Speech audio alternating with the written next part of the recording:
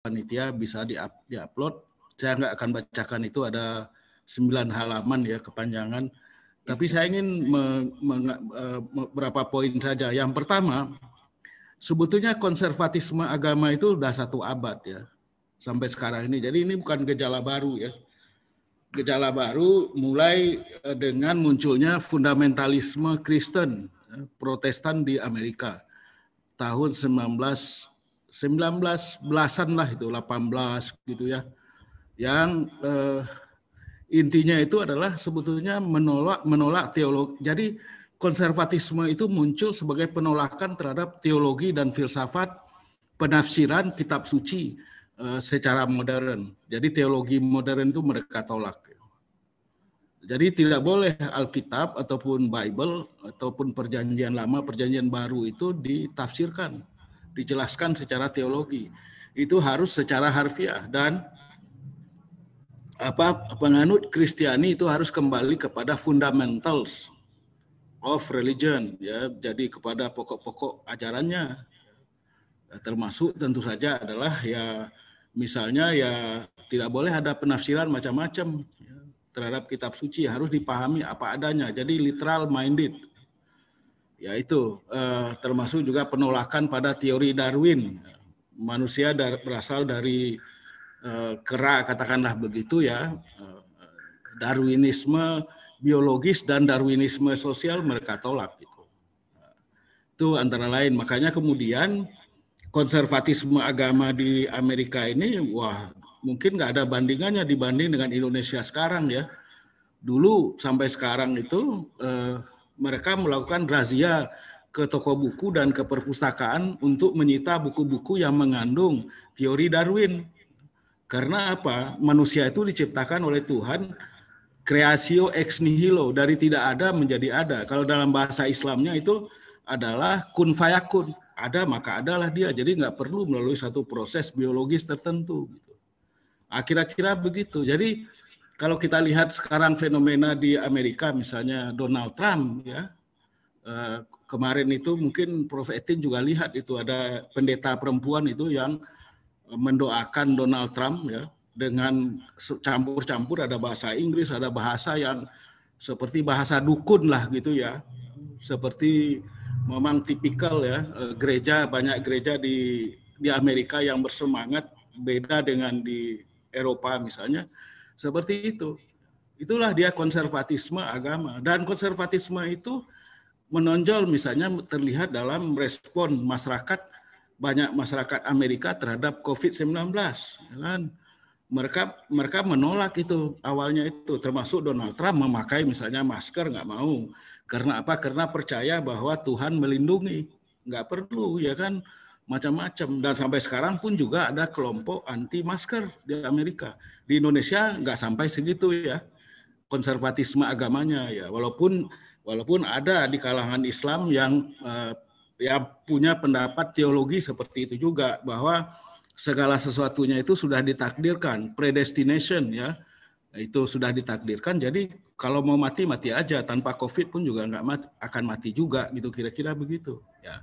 Nah, itu satu. Jadi ini bukan gejala yang yang baru sebetulnya. Eh, dia apa konservatisme agama itu adalah perlawanan terhadap teologi modern yang mungkin terlalu eh, antroposentrik ya, tidak lagi teosentrik ya antroposentrik itu eh, dan kemudian dalam perkembangannya nanti eh, berbaur dengan soal-soal misalnya sosiologis terkait dengan perkembangan ekonomi, moder, eh, modernitas perkembangan ekonomi, politik dan lain sebagainya seperti yang bisa kita lihat di dalam pengalaman atau apa yang kita lihat dari Donald Trump lah katakan begitu.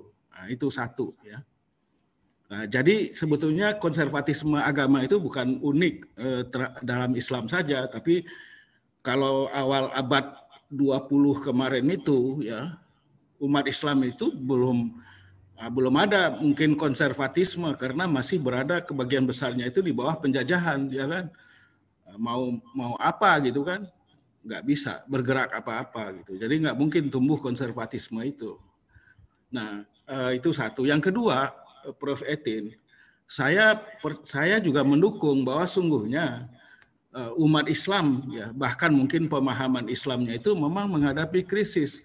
Walaupun kita tidak bisa generalisasi ya secara keseluruhan juga ya krisis itu mungkin banyaknya itu di Timur Tengah ya kan? Kalau kita lihat krisis politik dan juga krisis pemikiran bahkan krisis keagamaan ya jadi konflik-konflik yang nggak pernah selesai di Timur Tengah sampai sekarang mengakibatkan meningkatnya angka irreligiositas. Irreligiositas itu orang-orang Islam yang tidak mau lagi beragama, ya kan?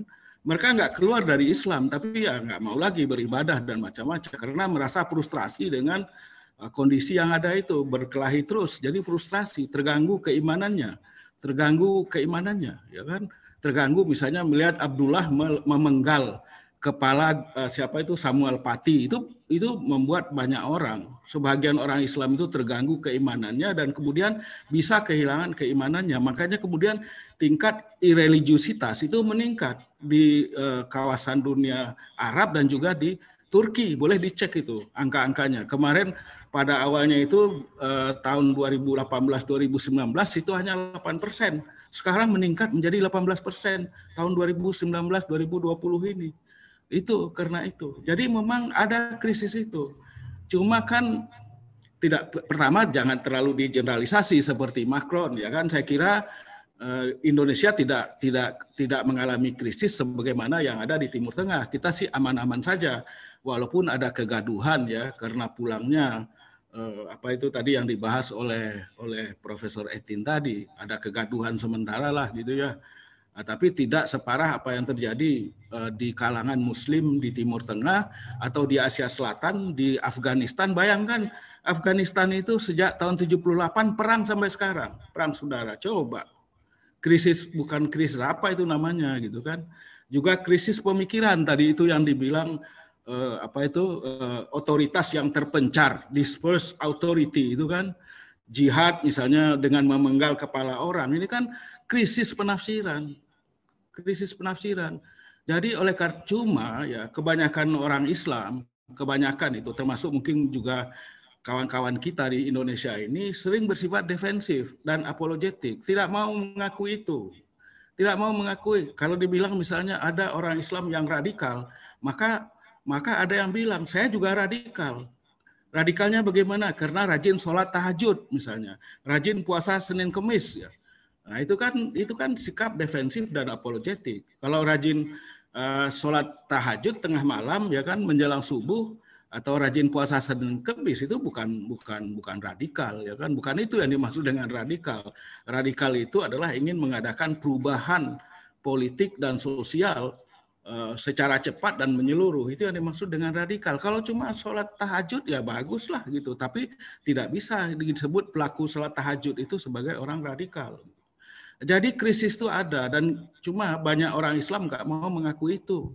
Bersikap, bersikap bersikap defensif dan apologetik.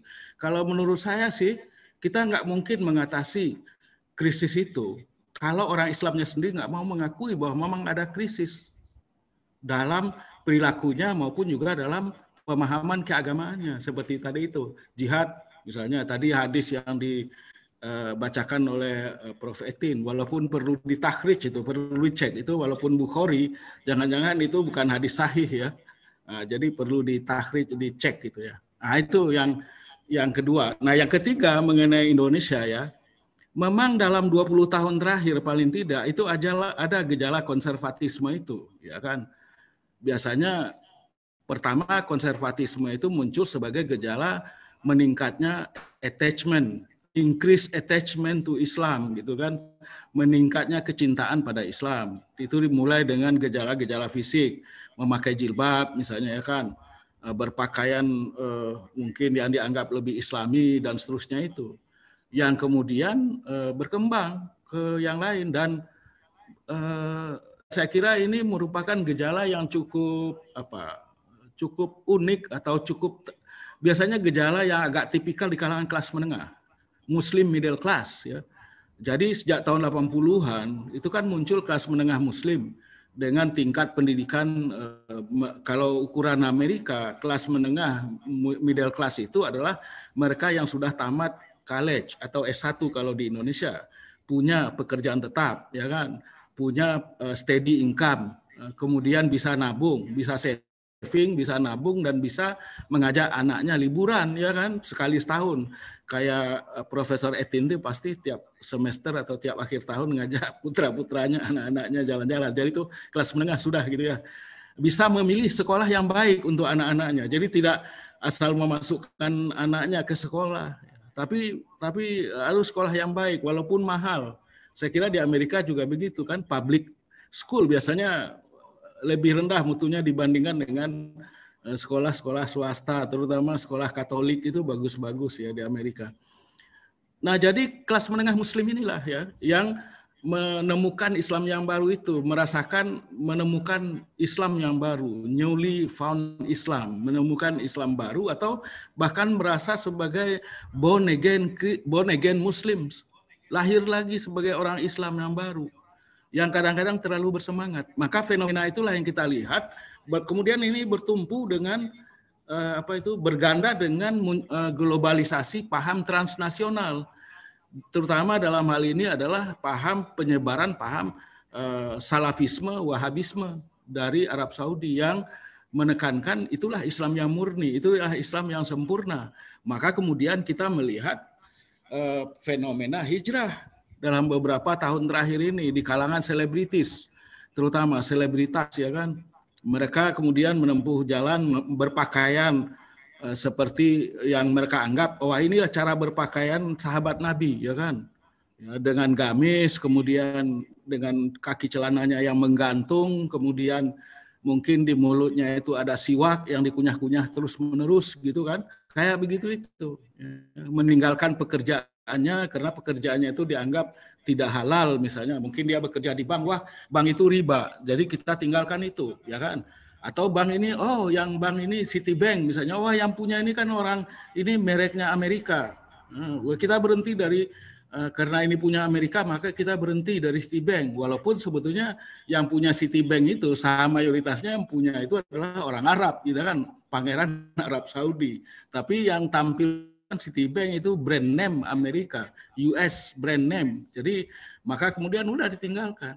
Nah, itu yang terjadi gejala-gejala seperti itu yang menimbulkan itu tadi increase konservatisme. Ya.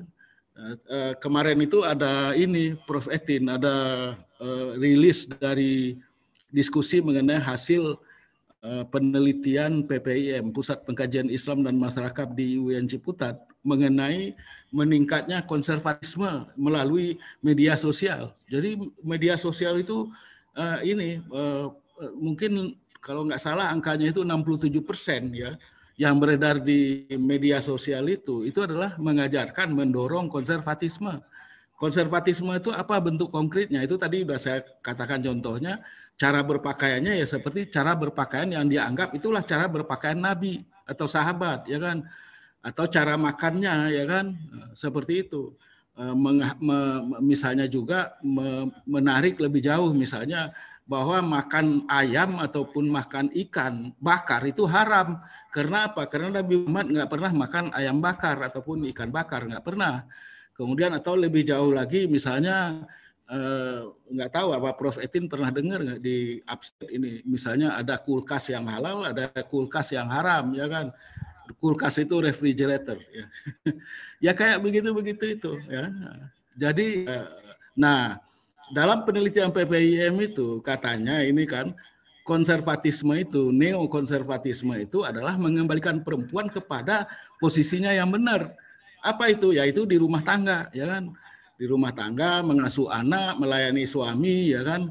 Nah, jangan berani eh, menolak keinginan suami nanti masuk neraka ya kan tujuh keturunan ya kira-kira begitu itulah neokonservatisme itulah konservatisme yang muncul nah Nah, cuma kalau saya lihat, jadi itu banyak faktornya. Ada faktor pendidikan tadi, faktor ekonomi yang membaik itu menjadi menjadi ini eh, faktor ekonomi. Makanya saya di dalam judul makalah saya itu ada religio sosial, religio kultural, bagaimana budayanya itu budaya konservatif, ya kan, eh, duduk dipisahkan kalau duduk, ya kan, perempuan ibu-ibu di rumah apa nyonya atau istri di rumah nggak boleh ketemu dengan tamu misalnya.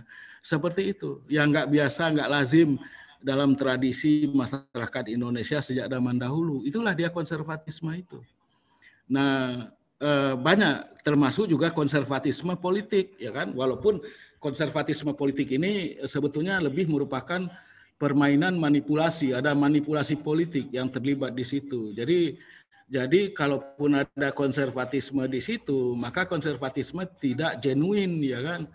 Uh, tapi konservatisme yang muncul di kalangan selebritas yang tadi saya sebut, itu kemungkinan lebih genuine, lebih genuine, lebih otentik.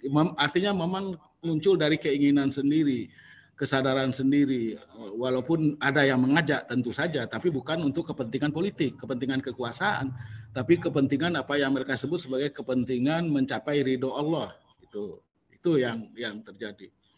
Nah terakhir sekali bagaimana ini masa depannya konservatisme Islam ini di Indonesia? Menurut saya ya ini gejala yang bisa disebut sebagai gejala yang fashionable atau gejala sosiologis yang biasa saja gitu. Karena ini bukan gejala yang baru, ya kan? sejak tahun 70-an, akhir 70-an, ya saya sudah mengamati gejala seperti ini eh, di kampus atau di mana-mana itu gejala seperti itu sudah mulai ya. Eh, perlawanan terhadap modernisme, terhadap developmentalisme, pembangunan itu sudah mulai gejala-gejala seperti itu. Walau kemudian eh, kemudian tentu saja apa apa apa namanya eh, jumlahnya atau kuantitasnya lebih banyak sekarang ini di samping juga karena memang eh, pendidikan kita juga lebih maju tahun 70-an dibanding dengan sekarang uminya juga seperti itu. Nah, nah oleh karena itu saya berargumen konservatisme seperti ini tidak akan bertahan lama. Ya, tetap ada tetapi tidak misalnya mau bisa mengubah eh, mengubah wajah Islam Indonesia itu secara keseluruhan wajah Islam Indonesia kan wasatia, ya, yang jalan tengah itu, ya kan. Jalan tengah itulah yang e, didukung terutama ya aktor utamanya ataupun pendukung utamanya itu adalah NU dan Muhammadiyah, ya kan. E, jadi e, kita beruntung ormas dua ini beserta ormas-ormas yang lain, saya kira menjadi benteng di dalam proses apa itu proses terjadinya perubahan-perubahan keagamaan tadi itu di kalangan masyarakat. Jadi perubahan keagamaan dalam bentuk misalnya tadi intensifikasi keagamaan, ya, born again Muslim dan sebagainya itu saya melihat itu lebih merupakan gejala pencarian kerohanian sebetulnya di tengah kehidupan yang sangat destruktif ya kehidupan sekarang ini kan destruktif secara ekonomi destruktif sosial sosial juga destruktif budaya Eh, sudah banyak eh, diskusi mengenai bagaimana terjadinya disorientasi, dislokasi, diskoneksi di kalangan masyarakat kita ya, terutama sejak akhir 90-an lah gitu ya. Itu dan juga politik yang eh, mengakibatkan terjadinya disorientasi. Jadi ini ya inilah faktor-faktor ini. Jadi kalau oleh karena itu kalau kita bisa menciptakan equilibrium baru, keseimbangan baru, maka kemudian saya kira gejala-gejala konservatisme itu akan berkurang dengan sendirinya karena dia lebih merupakan satu tahap, satu fase dalam pencarian rohani, pencarian spiritualitas keagamaan. Jadi ketika orang sudah sampai pada tahap tertentu, maka kemudian saya kira konservatismenya itu kemudian eh, akan ya akan tidak relevan lagi bagi kehidupannya sendiri ataupun kehidupan kehidupan keluarganya maupun kehidupan masyarakat yang lebih luas gitu. Nah, saya percaya sekali dengan mekanisme sosiokultural di Indonesia yang memiliki kemampuan gitu untuk menjinakkan ya, menjinakkan gejala-gejala konservatisme seperti itu. Karena sekali lagi ini bukan gejala yang baru juga di Indonesia sejak tahun 70-an tapi kita tidak melihat Eh, ada dampak yang terlalu serius gitu ya.